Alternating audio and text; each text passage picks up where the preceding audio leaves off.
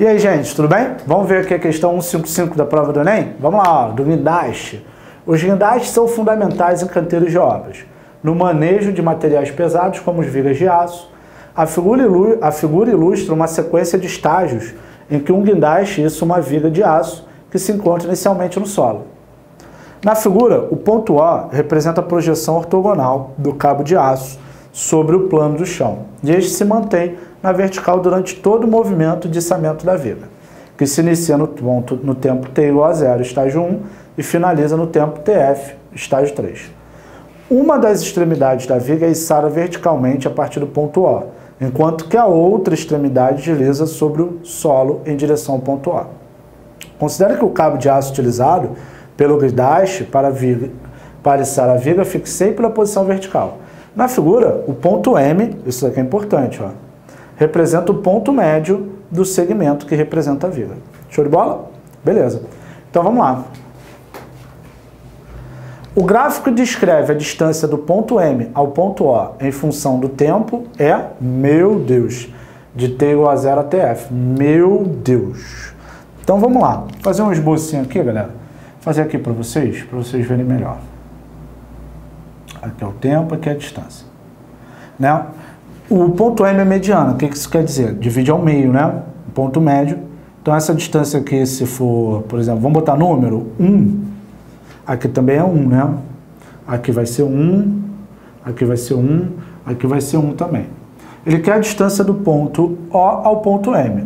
No momento aqui, aqui é o T0, né? E lá é o TF.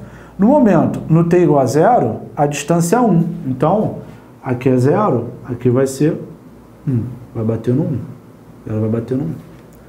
E vamos olhar o T final, porque é igual, né? A distância do ao M também vai ser 1. No TF também vai ser 1. Então, eu sei que esses dois pontos, tanto do início e do final, eles têm que estar juntos, tá legal? Agora, eu tenho que ver quem vai definir o estágio 2. O estágio 2, se você reparar, isso é um triângulo retângulo, tá? E sempre que você tem um triângulo retângulo, ó, vou botar aqui, isso é um triângulo retângulo. Aqui está o ponto M, que é ponto médio.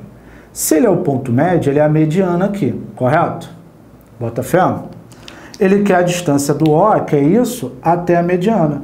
Sempre, galera, aí tem que saber propriedade de quê? Propriedade do triângulo retângulo. Não tem jeito. Sempre o ponto que liga o vértice aqui do triângulo retângulo à mediana, ele é igual a esse pedaço aqui, ó.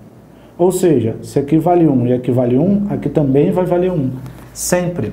Tá legal? O ponto que liga, a, o, a reta que liga, né, vamos dizer assim, a reta que liga o, o vértice aqui do triângulo retângulo até a mediana, ele sempre é a metade da hipotenusa, ele é a metade da hipotenusa. Como a hipotenusa é isso tudo, aqui é 1, aqui é 1, aqui também é 1. Ou seja, nesse tempo aqui, no estágio 2, também vai bater no 1 ou seja, vai ser uma reta. Show de bola? Essa, esse é o gráfico. Qual é a minha letra? Letra A. Só que você precisava disso. Show?